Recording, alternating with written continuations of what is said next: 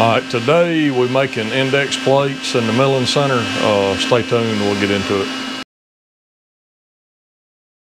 So come, come on in here. So, um, I, I should have filmed it, but I didn't, but I've already drilled the bolt pattern. And what we do, there's, uh, let's see,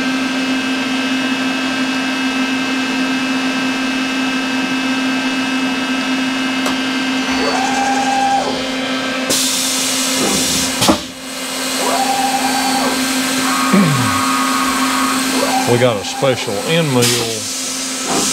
This so these holes have to be tapered. The pin that engages these holes on the cam grinder is a tapered pin. That way it you know it locks in and it doesn't have any play. And so what we done is we had an end mill ground on that correct taper. So we drill a pilot hole and then we come back and basically ream the, the taper with a carbide end mill and it works like a champ and it fits nice on the pin on the machine. And so uh, and so what we basically all we got left is just uh, run the bolt pattern with the tapered end mill. And then we come back because this this thing is keyed to the machine. So while we're holding it and we know where zero is once we finish uh, this program. Then I got another program that comes in with a quarter inch end mill and puts the keyway in it dead in line with zero. That way, you know, all of this is in time. So we gotta we got to do this on the holes and then we'll put the keyway in it and then that plate well we'll have to laser engrave the plate what it is and all but this is a uh, we call it a c firing order uh, which is like a LS1 firing order or a 4732 swap firing order. And uh, this one's for a big block Chevrolet. And apparently, I thought I had one, but apparently I have not done a 4732 swap big block, but I got one to do. So we had to make a plate.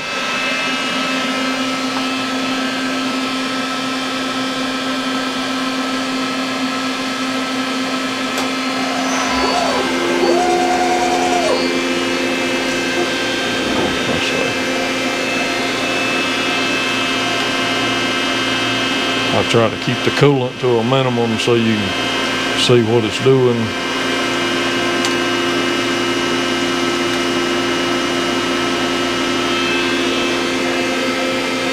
But we just take it nice and slow and uh, it like I say it does a really good job on the on the taper fitment.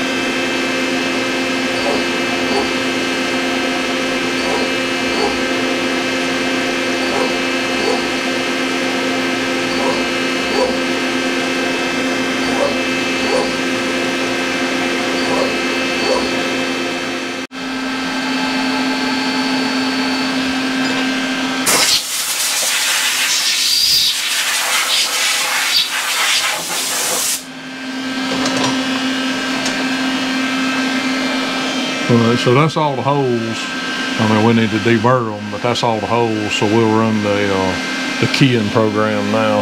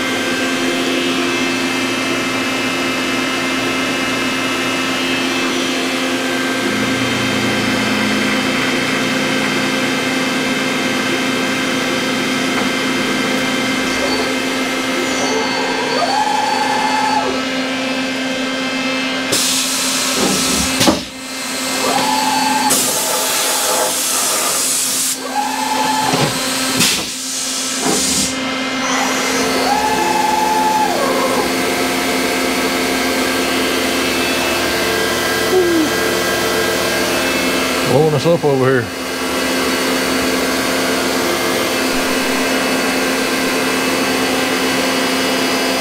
So that's just chamfering that bore and then it'll come back and chamfer where I put the keyway.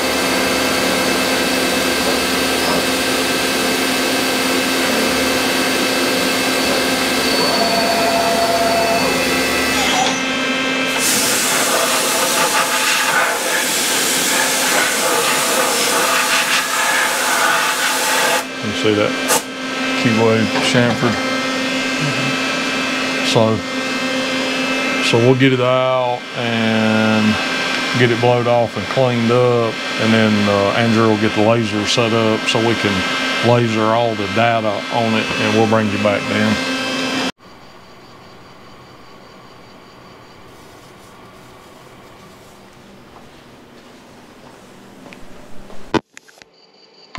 All right, so there it is. It's ready for service. We, we still got to put our uh, degrees around the outside always. Uh, you know, we, we engrave each whole degree. That way I can read it when I'm on the grinder. But I still got to do that. But other than that, the plate's done. And like I say, we, we make these in house. We have uh, blanks laser cut out of uh, steel sheet. And then we bore them and turn them and face them and, and all of that. So, uh, anyway, there it is. Thanks so much.